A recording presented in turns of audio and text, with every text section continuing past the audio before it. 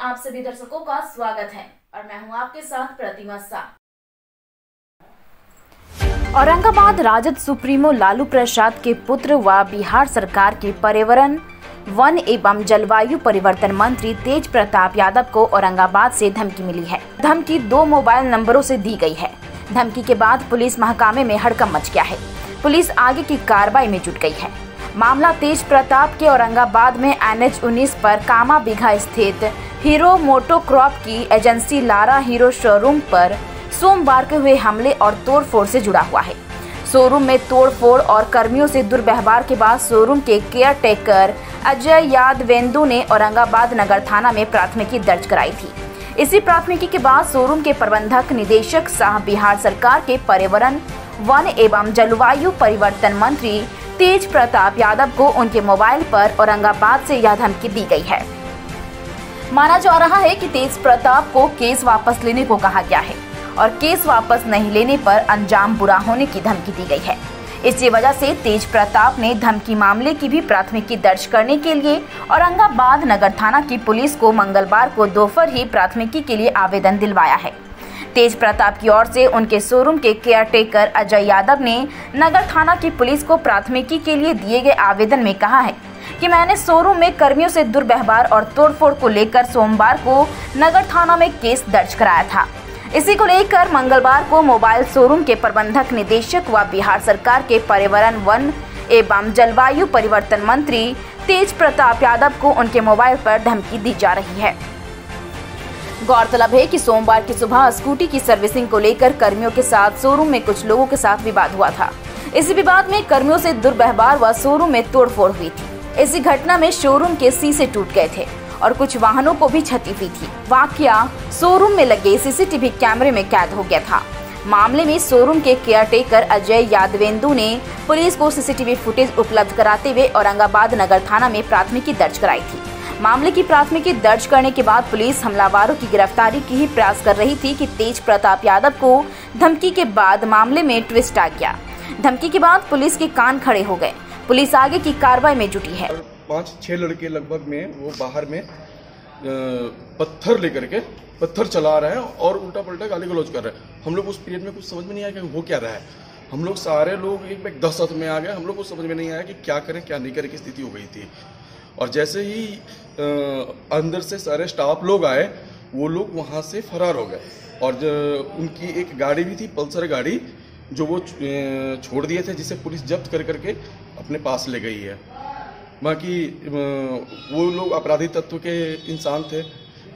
ऐसे भी बार बार सुनने को मिलता है कि कभी यहाँ किसी को मार दिए, कभी इसको यहाँ पिट दिए। उन लोगों का जो बैकग्राउंड है, पता चल रहा है कि क्रिमिनल माइंडेड बैकग्राउंड है। मैं चाहता हूँ कि उस पर ज़्यादा से ज़्यादा उसको कड़ी से कड़ी सजा दिया जाए ताकि क्या माहौल था उस वक्त जी? क्या माहौल था मामला था वही वो लोग कोई उनके रिलेटिव वगैरह सर्विसिंग करवाने आए थे और वो लोग ज़बरदस्ती करने लगे कि भाई, हम आए हैं तो जितना जल्दी हो सके मेरा गाड़ी सर्विस करो। लेकिन जो नियम है, सिस्टम है, सिस्टम के तहत काम होता है। साढ़े नौ का टाइम था, वो साढ़े नौ के टाइम से ही काम शुरू होती है। और उस टाइम ये लोग का कहना था कि नहीं, मेरा साढ़े आठ, पौने नौ पौने नौ बजे हम आए हैं, उस टाइम में करो।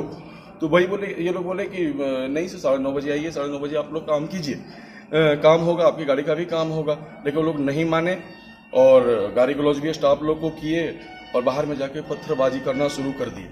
वो सारे के सारे दूसरे टाइप के थे क्रिमिनल माइंडेड टाइप के इंसान थे वो लोग। प्रताप जी के लारा शोरूम में कुछ हमला किया गया है पत्थरबाजी की गई है। क्या है पूरा मामला? जी सर जैसे कल अर्ली मॉर्निंग सोमवार के सुबह में हमारा वर्किंग आवर साढ़े नौ बजे से काम चालू होता है।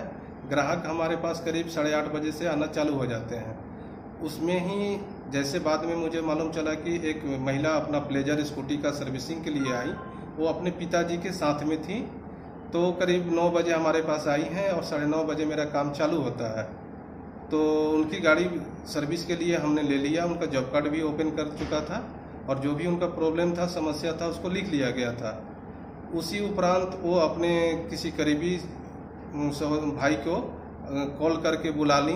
और वो भाई उनका आया तो हमारे कर्मचारियों के साथ दुर्व्यवहार किए। और उसके बाद हमने बोला कि नहीं, इस तरह का अगर दुर्व्यवहार करेंगे तो हम आपका काम नहीं कर पाएँगे। उसके बाद वो क्या किए कि अपने और दोस्त यार को बुला करके, करीब छः सात लड़के को बुला करके और बाहर में हमारे प्रतिष्ठान से निकल करके और हमारे शोरूम पर पत्थर चलाए, जिससे कि मेरा कांच का नुकसान हुआ है और गाड़ी का भी नई नई गाड़ियाँ का नुकसान हुआ है। वो उसको लेकर के हमने एट ए टाइम नगर थाना प्रभारी को कॉल किया और सनहा दर्ज कराए एफआईआर दर्ज कराए और अभी तक जैसे हमें सूचना मिली है कि कोई गिरफ्तारी वगैरह उसमें नहीं हो पाया है, लेकिन हमें आश्वासन मिला है थाना प्रभारी महोदय से कि इसमें जो भी होगा कठोर से कठोर कार्रवाई की जाएगी। विधिवत नियमानुसार जो भी होगा किया जाएगा। और उसके उपरांत आज सुबह सुबह दो अज्ञात नंबर से हमारे मैनेजिंग डायरेक्टर माननीय वन एवं पर्यावरण मंत्री श्री तेज प्रताप यादव जी को धमकी भरा कॉल किया जा रहा है, जो कि आज भी मैं आवेदन देकर कुछ नगर थाना में आ रहा हूँ। देश दुनिया की खबरों से अपडेट रहने के लिए देखते रहिए स्ट्रीट बस। यदि आपने हमारे चैनल को सब्सक्राइब नहीं किया है तो आज ही सब्सक्राइब करें। धन्यवाद।